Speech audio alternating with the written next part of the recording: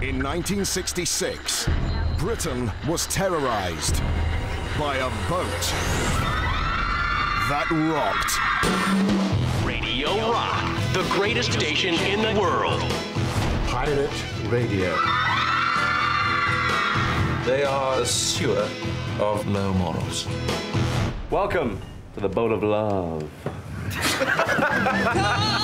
From Richard Curtis, creator of Notting Hill, Four Weddings and a Funeral, I'm getting married! and Love Actually. Welcome to our world. We're going to shut them down. No! Philip Seymour Hoffman, They can't close us down. We're pirates. Bill Nighy, Spectacular mistake. Rhys Ifans, Are you breaking the rules? Nick Frost, Big. Very beautiful. And Kenneth Branagh.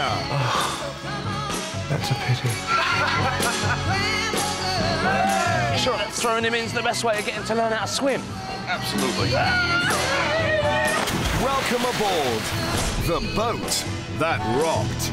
You know, although on second thoughts, it might just be for kids. I think if you throw in an adult, it doesn't work that way.